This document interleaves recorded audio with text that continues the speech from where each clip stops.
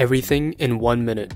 Can you survive an elevator fall by jumping at the very last moment before you hit the floor? This is a question you've probably asked yourself at least once in your life, and you're not alone. While jumping is definitely a way you can reduce the damage of the fall, you're most likely not going to survive. Let's say you're inside of a falling elevator from 20 floors up. By the time the elevator hits the floor, you're going to be traveling downwards at approximately 150 kilometers per hour. An average human can jump at a speed of 8.8 kilometers per hour, and that's not even considering you're inside a falling elevator. So let's do the math. You're falling at a speed of 150 kilometers per hour, and you jump upwards at a pathetic speed of 8.8 kilometers per hour. Therefore, you will hit the floor at a speed of 141.2 kilometers per hour, meaning that you will probably die.